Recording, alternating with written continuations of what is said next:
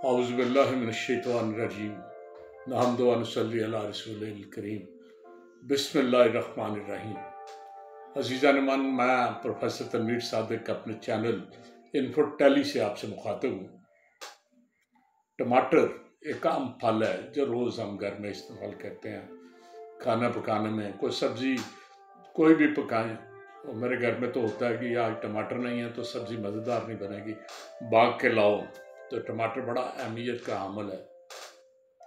इसके बारे में बड़ा अरसा बहस चलती रही कि टमाटर फल है या सब्ज़ी। साइंसदान कहते हैं कि ये फल है। इसकी ग्रोथ बिल्कुल फल की तरह होती है। बीजों से ये निकलता है, फूल लगते हैं, फूल फल में तब्दील होते हैं तो ये बिल्कुल फल है। मगर लोग कहते हैं कि नहीं, ये सब्ज़ी है। ये हम हंडिया में डालते हैं। कभी वैसे खुले तो फल नहीं खाते आमतौर पे। बहुत कम लोग इस तरह खाते हैं। तो ये सब्ज़ी है। चनाचे अमेरिका की कोर्ट में एक रिट लोगों ने कर दी कि ये इसे साइंसदान गलत कहते हैं कि ये फल है इसे सब्ज़ी डिक्लेयर किया जाए। कोर्ट ने कहा, ठीक है, हमने मान लिया आपकी बात। ये सब्ज़ी है। अठारह सौ तिरानवे की बात है। अमेरिका सुप्रीम अमेरिका के सुप्रीम कोर्ट ने डिक्लेयर कर दिया कि टमाटर जो है एक सब्ज़ी है, मगर साइंसदान इसे मानते नहीं। वो कहते हैं, जो फल है, कोई कोर्ट किसी को कह दे कि वह सफ़ेद है तो वो सफ़ेद नहीं हो सकता। वो काला ही रहेगा। ठीक है। तो कोर्टों के ऐसे डिसीज़न को हम नहीं मानते। साइंसदानों ने माना, नहीं माना। वो आज भी एक फल ही कंसिडर होता है। वो सब्ज़ी नहीं है। एक धात है प्यूटर। अब वो बर्तनों में इस्तेमाल नहीं होती, लेकिन आज से दो सदियाँ पहले तक ये बर्तनों में बड़ी ज़्यादा इस्तेमाल होती थी। इसकी चमक दमक, बड़ा सिल्वर कलर, बड़ी चमक होती है इसमें। आपने देखा होगा बहुत से डेकोरेशन पीसेस सिल्वर के बने हुए आजकल मिलते हैं। उस प्यूटर में ना पचासी से नब्बे फ़ीसद टेन या लोहा कह ले, लोहा होता है। एंटीमनी एक दात है।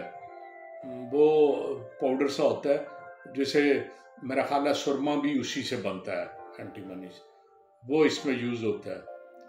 फिर कॉपर सिल्वर और बहुत सी धातें मिक्स करके इसे बनाया जाता है। इसमें लड की क्वांटिटी जो है ना, वो कभी ज़्यादा होती है, कभी कम। किसी ज़माने में बहुत ज़्यादा इस्तेमाल करते थे। अब वो क्वांटिटी कदरे कदरे क्या बहुत कम कर दी है लड की क्वांटिटी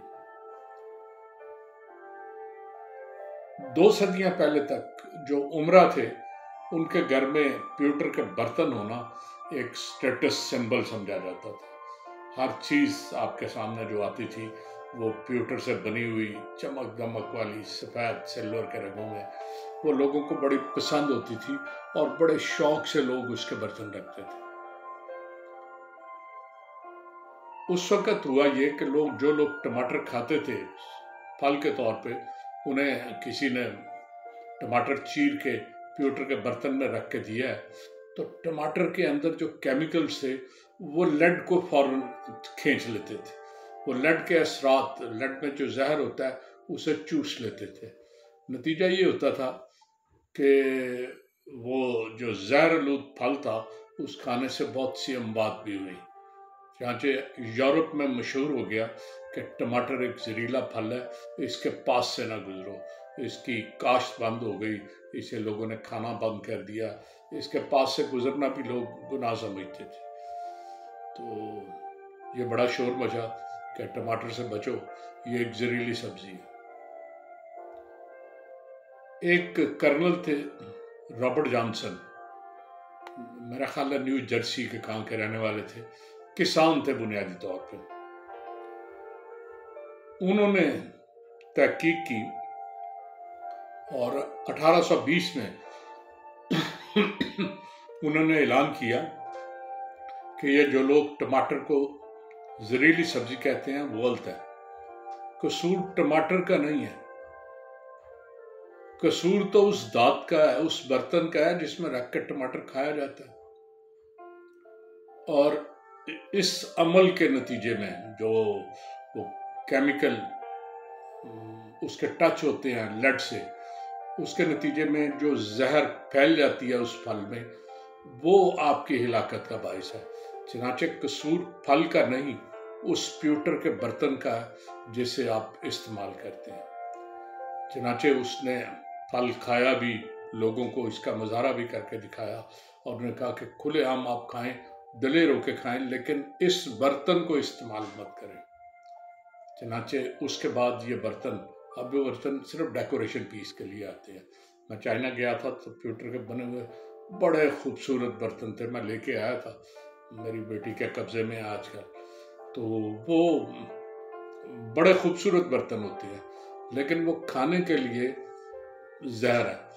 और खाने के लिए सच्ची बात यह है कि कोई भी आप जो स्टील का या दूसरा जो किसी धात का बर्तन इस्तेमाल करते हैं, उस दात का कुछ ना कुछ इम्पैक्ट कुछ ना कुछ असर हमारे पकवान में होता है। क्योंकि पानी उबल रहा है, सालन उबल रहा है, कुछ चीज़ें।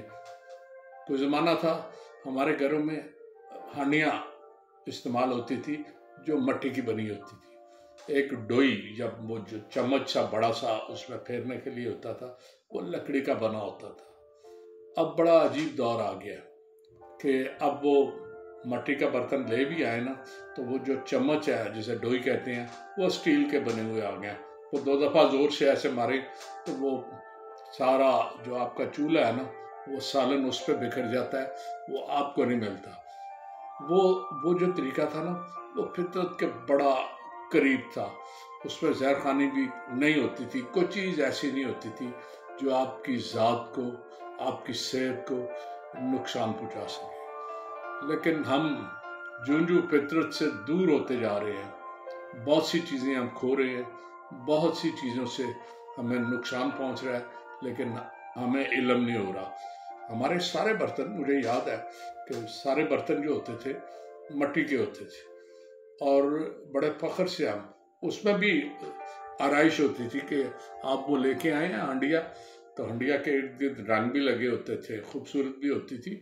उसमें जो मर्ज़ी डेकोरेशन कर लें स्टेटस सिंबल आप जो मर्ज़ी बना लें, लेकिन बेहतर है कि फितरत से प्यार करें, फितरत के नज़दीक जाएँ, ऐसी चीज़ों को अपनाएँ जो आपकी सेहत के लिए, ये जो कैंसर और ये चीज़ें हैं बहुत से कहते हैं कि ये जो हम एलुमिनियम के बर्तन खाते खाते पीते हैं, ये उसका नुकसान है। चनाचे हम सब के लिए मैं जाते जाते यही कहूँगा, बेहतर है कि फितरत की तरफ़ रुजू करें, सादे बर्तनों में, मट्टी के बर्तनों में खाएँ, इसी में आपका भला है। इजाज़त चाहूँगा, जाते जाते वही रिक्वेस्ट है, मेरे चैनल को सब्सक्राइब भी करें बेल के आइकन को दबा दें, आपसे मुलाकात होती रहेगी, अल्लाह